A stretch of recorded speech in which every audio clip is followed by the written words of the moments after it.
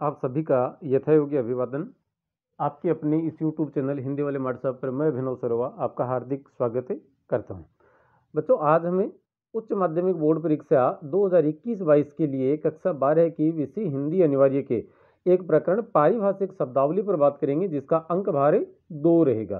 कितने नंबर के अंक प्रश्न आने वाले हैं? दो नंबर के। एक प्रश्न तो ऐसा होगा जिसमें आपको हिंदी वर्ड दिया होगा और उसको आपको इंग्लिश में उसकी मीनिंग लिखनी है, ठीक है? दूसरा ऐसा होगा जिसमें इंग्लिश के दो वर्ड होंगे, एक और ये दूसरा भी इंग्लिश का। इन दोनों का आपको हिंदी अनुवाद वहाँ अपनी को उत्तर पुस्तिका में, बोर्ड के एग्ज़ाम में वहाँ लिखना है। तो कुल मिलाकर तीन मीनिंग आपको याद करने हैं और तीन मीनिंग के लिए हम ये नहीं कह सकते कि सिर्फ़ तीन ही करने काफ़ी ऐसे मीनिंग्स होंगे जो हमें याद करने हैं और उसी परिप्रेक्ष्य में हम आगे बात करते हैं। चैनल पर पहली बार आए हैं, सब्सक्राइब कर लीजिएगा। जैसे यहाँ आपके सामने आप दो चीज़ें देख रहे हैं, यहाँ हिंदी, सॉरी, अंग्रेज़ी का वर्ड है और यहाँ उसका हिंदी में अनुवाद है। हो सकता है अंग्रेज़ी वाला आ जाए तो आपको ये वाला लिखना है और यदि ये वाली चीज़ आ जाए तो आपको ये लो वाली चीज़ें लिखनी है। पहला है एबिलिटी, जिसका हिंदी अनुवाद होता है योग्यता। आप स्पेलिंग यहाँ से देख सकते हैं आराम से। A, B, I, L, I, T, Y, ability का अर्थ है योग्यता।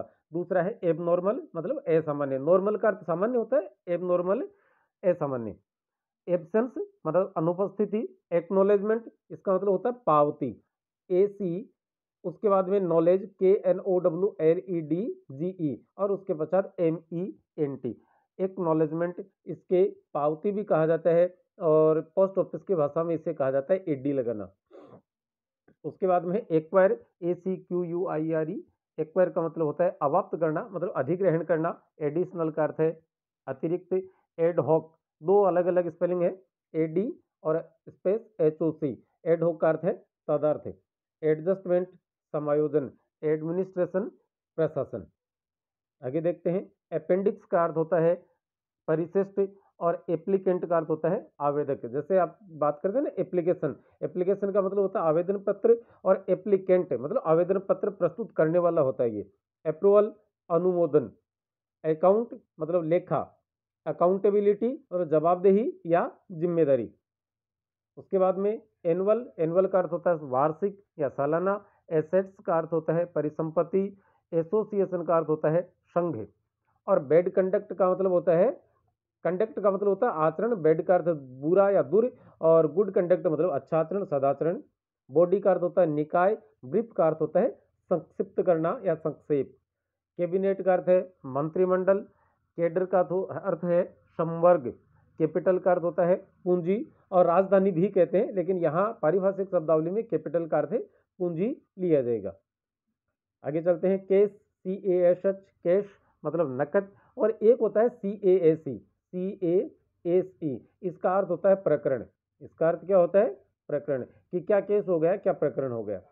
उसके बाद में सेंसस का अर्थ है जनगणना, कोलाबोरेशन का अर्थ है सहयोग, कमीशन का अर्थ है आयोग। कमिटी, समिति, कंडक्ट मतलब आचरण। और कॉन्वेन मतलब संयोजन, काउंसिल, परिषद। क्रेडिट का अर्थ होता है साख या उधार। डिबार का अर्थ होता है वर्जित करना या रोकना। जैसे कई बार क्या होता है, नकल आदि के प्रकरण में कुछ बच्चे पकड़े जाते हैं तो लोक सेवा आयोग के द्वारा या जो भी परीक्षा लेने वाला जो संस्थान होता है, जो बॉडी है, उसके द्वारा उस बच्चे को डिबार कर दिया जाता है मतलब परीक्षा देने से रोक दिया जाता है। डेलीगेट का अर्थ होता है प्रतिनिधि, डेपुटेशन का अर्थ है प्रतिनियुक्ति। एक आदमी के स्थान पर कोई दूसरा आदमी जब एक आदमी के स्थान का स्थान खाली हो, जगह खाली हो और उसके स्थान पर किसी दूसरी जगह से कोई व्यक्ति कुछ दिनों के लिए लगाए जाते हैं तो उसे डेपुटेशन या प्रतिनियुक्ति कहा जाता है। डिस्पोजल का अर्थ होता है निष्पादन, एफिशिएंसी का अर्थ होता है दक्षता। इलेक्ट्रोल का अर्थ है निर्वाचक सूची, जिसे हम वोटर लिस्ट कहते हैं। एंडोर्स का अर्थ है पृष्ठ अंकन मतलब पृष्ठ पर अंकन करना। इन्फोर्समेंट का अर्थ है प्रवर्तन और इवोल्यूशन का अर्थ होता है मूल्यांकन। एक्सक्लूसिव अनन्य या एकांतिक। एक्सक्लूसन का अर्थ होता है व्याख्यात्मक और फेवरेबल का अर्थ होता है अनुकूल, हमारे लिए सही। फाइनेंस का अर्थ है वित्त फ़िज़िकल का अर्थ है राजस्व संबंधी। फ्रीक्वेंसी का अर्थ होता है बारंबारता। फंडामेंटल का अर्थ है बुनियादी, आधारभूत या मौलिक। गजट का अर्थ है राजपत्र। ग्रांट का अर्थ है अनुदान। ग्रीवियंस वेंस का अर्थ है शिकायत या परिवेदना। गारंटी का अर्थ है प्रत्याभूति या जमानत। हेबिचुअल का अर्थ होता है हेबिट से बना है ये शब्द। हेबिचुअल का अर्थ होता है स्वाभाविक या आदतन। हेरिटेज का अर्थ है धरोहर या विरासत। ऑनोरेरियम यहाँ पर एच साइलेंट है। ऑनोरेरियम बोलते हैं इसको। इसका अर्थ होता है मानदेय। ह्यूमेनिटेरियन मतलब मानवीय। ह्यूमेनिटेरियन आधार पर बेस पर, यदि मतलब मानवीय आधार पर कोई किसी व्यक्ति विशेष के साथ कुछ हम कहें कि सहूलियत बरती जाती है या सॉफ्ट कॉर्नर रहा जाता है तो वहाँ मानवीय आइडेंटिटी का अर्थ होता है पहचान, इलीगल, आई, यहाँ आई कैपिटल है, उसके बाद में दोनों एल स्मॉल है। इलीगल का अर्थ है अवैध या गैर कानूनी इन, इंडिस्पेंसेबल मतलब अपरिहार्य, जो बताया नहीं जा सकता, ऐसे कोई कारण। जैसे कई कई बार क्या नहीं होता कि कोई परीक्षा आदि रद्द कर दी जाती है, वहाँ लिखा जाता है अपरिहार्य कारणों के कारण से कारणों से परीक्षा को और आगामी समय तक के लिए, आगामी कुछ समय तक के लिए इसे टाला जाता है। तो वहाँ अपरिहार्य अर्थ होता है उसका। इनिशियल का अर्थ होता है लघु हस्ताक्षर, इंटरव्यू का अर्थ होता है साक्षात्कार। इनिशियल जहाँ कई बार क्या होता है, सरकारी दस्तावेज़ में कोई कटिंग आदि करनी पड़ जाती है तो वहाँ फिर इनिशियल छोटे सिग्नेचर किए जाते हैं, लघु हस्ताक्षर। इंटरव्यू का अर्थ है साक्षात्कार, इनवॉइस का अर्थ होता है बीजक, जिसे बिल कहते हैं। इंस्पेक्शन का अर्थ होता है निरीक्षण इंटीग्रेशन का अर्थ है एकीकरण, इन्वेस्टिगेशन का अर्थ होता है अनुसंधान या खोज। जर्नल, ये जनरल नहीं है, जर्नल है। जनरल का अर्थ सामान्य होता है, ये जर्नल का अर्थ होता है पत्रिका। जुडिशियल का अर्थ होता है न्यायिक। लेआउट का अर्थ होता है खाका तैयार करना, जैसे मकान बनाना है तो उसका लेआउट हमने इस प्रकार से तैयार किया, यहाँ दरवाज़ा रहेगा तो ये खाका हमने तैयार किया, नक्शा वो। लाइसेंस का अर्थ होता है सॉरी, लीगल का अर्थ होता है वेद या कानूनी रूप से सही। विधि के अनुकूल। इसका वेद का अर्थ होता है विधि के अनुकूल, कानून के हिसाब से सही। लाइसेंस का अर्थ होता है अनुजा पत्र लिंगवा फ्रेंस का अर्थ होता है, फ्रांस का अर्थ होता है जन भाषा या संपर्क भाषा। अब मीनिंग यहाँ देख सकते हैं आराम से। यदि पूरी मीनिंग को बोलेंगे तो बहुत ज़्यादा समय लग जाएगा, जो कि आपके लिए ठीक नहीं रहेगा। मैनिफेस्टो का अर्थ होता है घोषणा पत्र मेजोरिटी का अर्थ होता है बहुमत। मिसक्लेनियस का अर्थ होता है विविध। नेग्लिगेंस का अर्थ होता है अवहेलना, अवज्ञा या उपेक्षा करना। नोटिफिकेशन का अर्थ होता है अधिसूचना। ऑथ ऑथ का अर्थ होता है शपथ। ऑब्जेक्ट का अर्थ होता है उद्देश्य। ऑब्जेक्शन का अर्थ होता है आपत्ति या आक्षेप।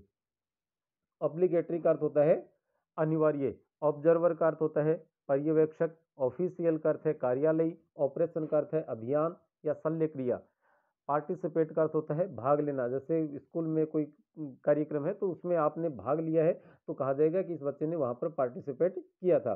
परमिट का अर्थ होता है अनुमति, पोर्टफोलियो का अर्थ है संविभाग, प्रिंसिपल का अर्थ होता है सिद्धांत। यहाँ देखिए, एक प्रिंसिपल हमारे विद्यालयों में होते हैं, वहाँ P R I N C I P A L उसकी स्पेलिंग ये होती है C I P A L वो प्रिंसिपल का मतलब प्राधानाचार्य और यहाँ प्रिंसिपल मतलब P R I N C I P L E principle का अर्थ होता है सिद्धांत।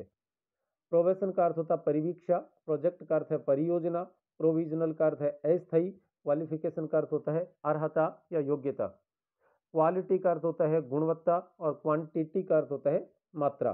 कि हमें रिज़ल्ट में न केवल क्वांटिटी चाहिए मतलब मात्रात्मक रूप से नहीं, हमें उसमें क्वालिटी भी चाहिए। मतलब बहुत अच्छे नंबरों से बच्चे पास हों, ऐसी मैं भी आपके लिए और शुभकामनाएँ प्रेषित करता हूँ मेरी तरफ़ से।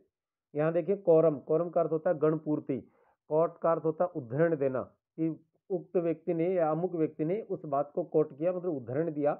रैंडम का अर्थ होता है अनियमित चुनिंदा बीच बीच में से चुनना। रिबेट का अर्थ होता है छूट देना। रिकॉर्ड का अर्थ होता है अभिलेख।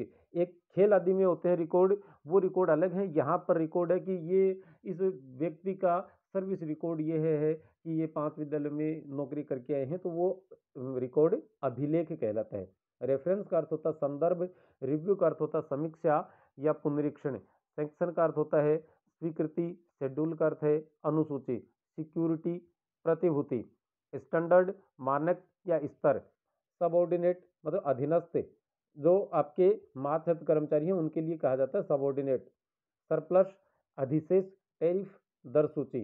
टेंडर का अर्थ होता है निविदा, टर्म का अर्थ होता है अवधि या कार्यकाल, थीसिस का अर्थ होता है शोध प्रबंध, ट्रस्ट का अर्थ होता है न्यास, अल्टीमेट का अर्थ होता है अंतिम या चरम, यूनिक का अर्थ होता है अपूर्व या अनुपम, यूटिलाइजेशन का अर्थ होता है उपयोगिता और यूटोपिया का अर्थ होता है आदर्श स्थिति या काल्पनिक आदर्शवाद, और विजिलेंस का अर्थ होता है सतर्कता। ये विजिलेंस वाला तो राजस्थान माध्यमिक शिक्षा बोर्ड की परीक्षा में एक बार पूछा भी जा चुका है। तो दोस्तों, आज के लिए फ़िलहाल इस वीडियो में इतना ही। अगली वीडियो में आपके साथ फिर से मुलाकात करेंगे। तब तक के लिए आप अनुमति देवें। नमस्ते, शुक्रिया, धन्यवाद। जय हिंद।